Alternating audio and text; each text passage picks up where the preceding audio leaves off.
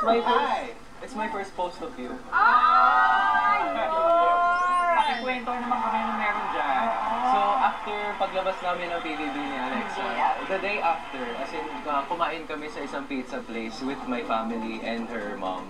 So, uh, sobrang saya namin. We were just eating, we were bonding, nagkwatantuan kami. Tapos doon ko nakilala si Alexa ng uh, in a much deeper uh, like, Mm, balikan natin yung isa. Yan, ano yung thought bubble dyan? Balikan natin. Ano yun, Oh. Alex? Nahihiya ako. Ganun po, sabi niya, picturean kita. Sabi ko, nahihiya ako. Okay, one last. Ang last piraso. Ano po yan? Na, Ah, Oh. Ito naman. Ay.